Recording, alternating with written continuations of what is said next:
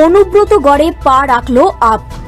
শুক্রবার আম আদমি পার্টির পক্ষ থেকে বোলপুর শহরে প্রচারে নামলেন দলের কর্মী সমর্থকেরা।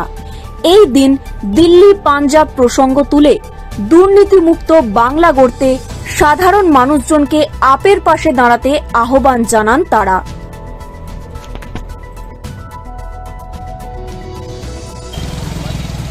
রাস্তায় যেরকম পেরাচ্ছে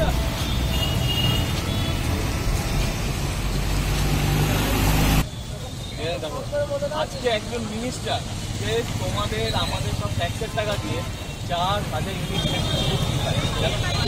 তোমার আমার এই তাহলে ওরা যদি ফ্রি পায়, সাধারণ লোক কেন পাবে তার জন্যই আমাদের পারে আর এই নোংরা রাজনীতি করার জন্যই আজকে আমরা আসছি।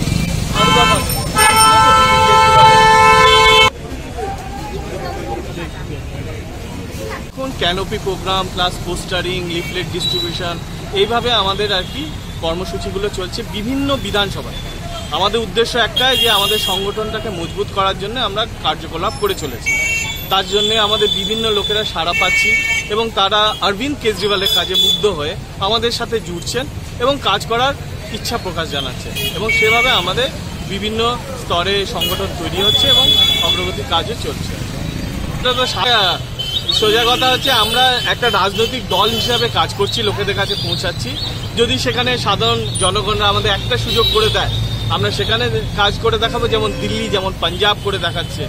আমরা কোনোভাবে কারাপশনকে টলারেন্স করি না। এবং তার জন্যই দেখবেন আমাদের স্টেট লেভেল থেকেও কিন্তু আমাদের বিভিন্ন কার্যকলাপ হচ্ছে এবং প্রত্যেকটা জেলাতেও হচ্ছে। তো আমাদের একটাই উদ্দেশ্য হয় আপনারা ভালো কাজ করুন। দরকার নেই আম আদমি পার্টি, দরকার নেই এখানে আসার। কিন্তু যদি আপনারা ভালো কাজ না করেন, সাধারণ জনগণ তো আমাদেরকে সুযোগ করেই দেবে। আমরা করতে বাধ্য। কারণ দিল্লিতে যখন করে দেখেছি, পাঞ্জাবে করে দেখাচ্ছি, তাহলে বাংলা কেন পিছিয়ে থাকবে? পঞ্চায়েত উপর নির্ভর করবে। যদি আমাদের সংগঠন যে যে বিধানসভায় স্ট্রং থাকবে, শক্তিশালী থাকবে, সেসব বিধানসভায় নিশ্চয়ই আমরা লড়বো এবং জনগণ যদি আমাদের সেখানে সার্ভেতেও যেটা হয় আর কি, যদি আমাদের সেই ইচ্ছা প্রকাশ করেন যে আমাদের লড়ার জায়গা আছে, তো নিশ্চয়ই লড়বো। বোলপুর থেকে নিজস্ব প্রতিনিধির রিপোর্ট টিভি নিউজ টেন।